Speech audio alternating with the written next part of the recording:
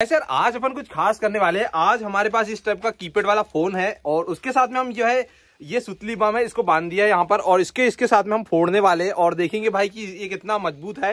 ये जियो फ़ोन नहीं है, ये माइक्रोमैक्स का कीपैड वाला फ़ोन है।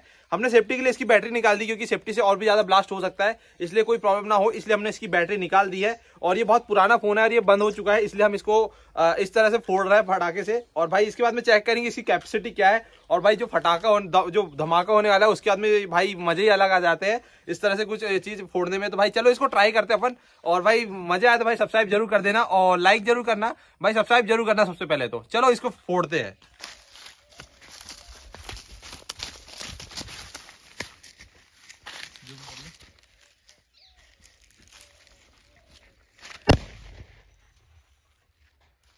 गाइस भाई, क्या ही फटा फटाका पर बाकी चीज़ कहाँ चला गया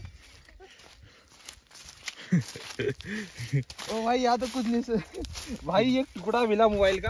पता नहीं किस चीज़ का है। और भाई, ये देखो, इसकी हालत देखो। कीपैड अलग आ गया इसका निकल के। और ये देखो, रस्सी में बाकी कहाँ गया? भाई, इधर देखो ना। बाकी तो इसका ये रहा एक और। इसका डिस्प्ले है ये गाइस हाँ ये डिस्प्ले है ऊपर का। और ये रहा ये रहा ये रहा। गाइस ये देखो। भाई, इसकी हालत देखो खाली प्लेयर हो। भाई, इसका देखो यार।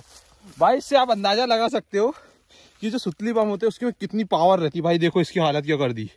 पूरा भाई, इसका मदरबोर्ड वगैरह सब उड़ गया भाई। क्या ही मोबाइल की हालत क्या कर दी, देखो गाइस अच्छा वो ये पुराना फ़ोन था, खराब वाला फ़ोन था, इसलिए कोई प्रॉब्लम नहीं है। लेकिन गाइस बहुत ही डेंजरस होता है। घर पे कोई करने की कोशिश बिल्कुल भी मत करना। और भाई, ये देख लिया आप लोगों ने कितना ज़्यादा पावरफुल रहते हैं। कोई बोलते हाथ में फोड़ देंगे। भाई, हाथ में मत फोड़ ले रहा मोबाइल की हालत ये हुई है ना तो तुम्हारे हाथ की हालत सोच लो क्या होने वाली है। तो वीडियो पसंद आए तो लाइक कर देना। चैनल पर रहो तो सब्सक्राइब ज़रूर करना। मिलते हैं किसी ऐसे ही इंटरेस्टिंग वीडियो के साथ में। तब तक के लिए टेक केयर बाय बाय